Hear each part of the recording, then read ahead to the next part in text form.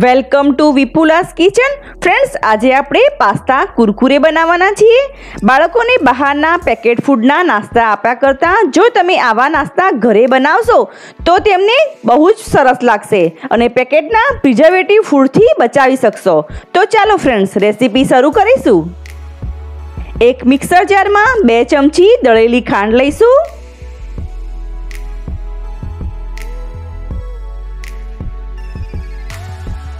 Salt to taste. અડધી ચમચી લીધી છે મેં. વન ફોર ટીસ્પૂન જેટલું સંચર પણ લઈશું. વન એટ ટીસ્પૂન જેટલા અથવા તો ચપટી જેટલા લીંબુના ફૂલ લઈશું. એક ચમચી લાલ મરચું લઈશું. હાફ ટીસ્પૂન હળદર. વન ફોર ટીસ્પૂન હિંગ લઈશું. એક ચમચી કિચન કિંગ મસાલો. વન ફોર ટીસ્પૂન જેટલો ચાટ મસાલો લઈ અને આને ક્રશ કરી લઈશું.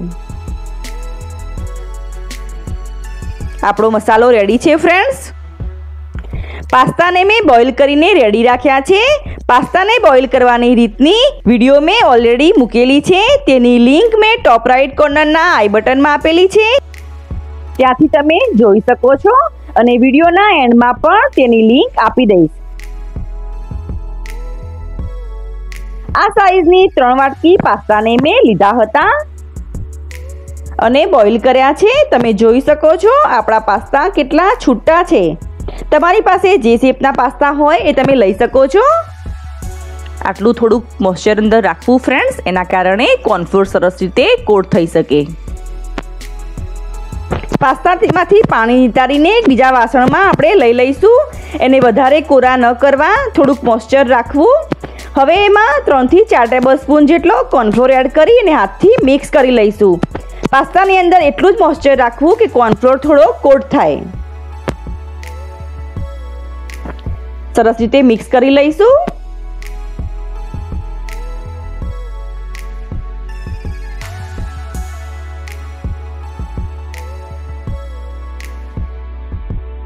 વાસણને ઉછાળી અને સરસ રીતે આપણે કોર્નફ્લોરને કોટ કરી લઈશું.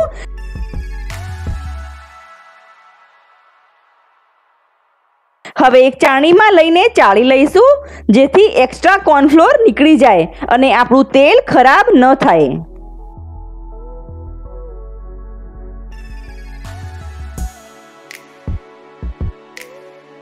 પાસ્તા તેલમાં એડ કરીએ, ત્યારે ગેસ ફાસ્ટ રાખવો અને પછી મીડિયમ તાપે તળવું.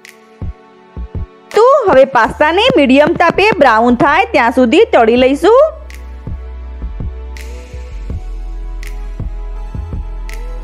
પહેલા જારો ન ફેરવવો, થોડાક થાય પછી જારાથી હલાવવા. એને સરસ ફેરવી ફેરવીને બ્રાઉન થાય ત્યાં સુધી તળી લઈશું. મીડિયમ તાપે જ તળવા.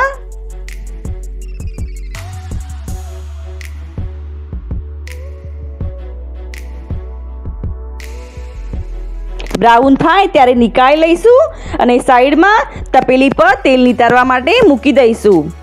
ત્યાં સુધી આપણે બીજા પાસ્તા તળવા મૂકી દઈશું.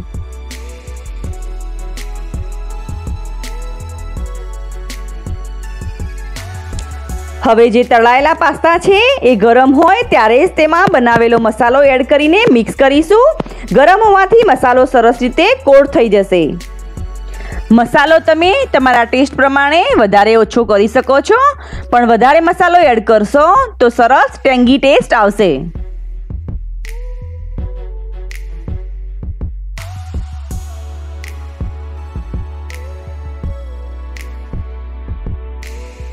પાસ્તા તળાઈ જશે ત્યારે તેમાંથી અવાજ આવશે. જેથી તમને ખબર પડી જશે કે પાસ્તા તળાઈ ગયા છે. જો ફ્રેન્ડ્સ આપણા પાસ્તા બ્રાઉન થઈ ગયા છે, એને નીકાળી લઈશું.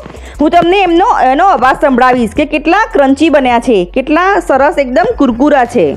તમે સાંભળજો.